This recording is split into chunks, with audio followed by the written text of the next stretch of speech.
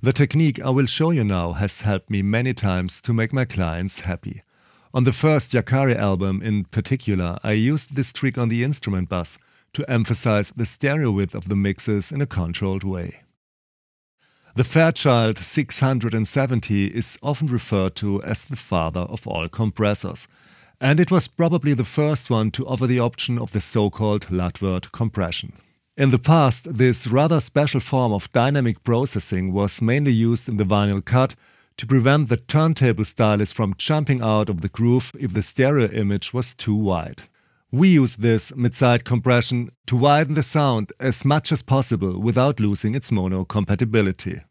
Let me show you exactly how to do this with a free version of HOFA SYSTEM. That way you can reproduce everything on your computer with your DAW. You can find the link to the HOFA SYSTEM freeware in the info field below the video. This pretty thick drone sound is mainly playing in the center. That means it competes in the mix with the bass drum, snare drum, bass, vocals and other major elements of the production. Let me show you now, with probably the most extreme form of Lat/Vert dynamic processing, how to get this synth sound as wide as possible and create more space in the center. We insert HOFA SYSTEM in the channel. As I said, all this can be done with the free version that I'm using here. Then we open the mid-side routing module in system. Let's drag the master limiter from the dynamics section into the side slot. Now we raise the input of the limiter until the reduction meter is almost always orange.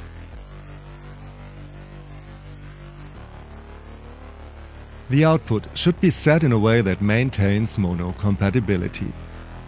You can easily check this with the free HOFA 4U goniometer and correlator or our analyzer. Just make sure that this indicator does not move to the lower area. Okay, I found a nice setting. It sounds like this.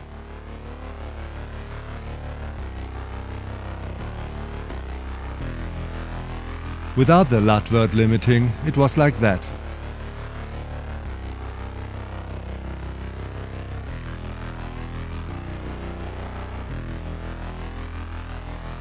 Again with effect.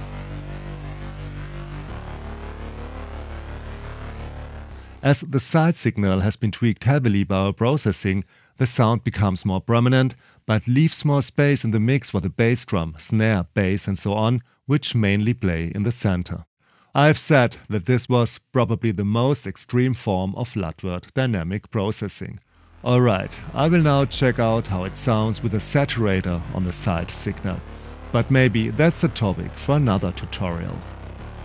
And to make sure you don't miss out, subscribe to this channel and stay informed about new audio engineering tutorials.